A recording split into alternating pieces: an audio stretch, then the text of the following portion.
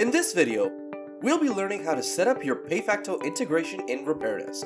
This video will be teaching you how to run the PayFacto integration setup process and configure multiple terminals. Let's get started. We're first going to go to the store settings and select integrations from the sidebar.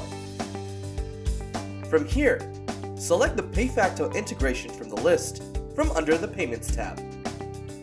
You'll now see the PayFacto integration screen. Under the Setup tab, enter your API key, company name, merchant number, and your terminal number. The API key is provided by PayFacto when you log into their portal with the credentials provided to you in their first email.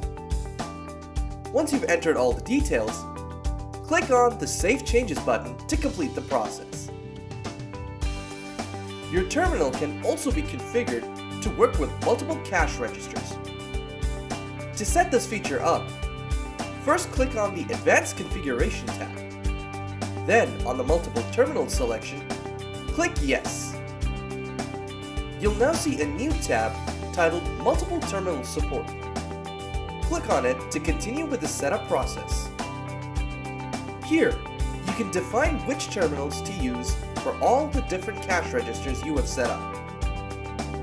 Enter the terminal names to have each cash register paired to that specific terminal.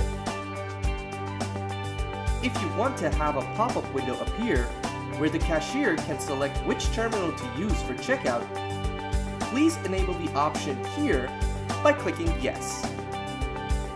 When you're done, click on Save Changes to complete your setup.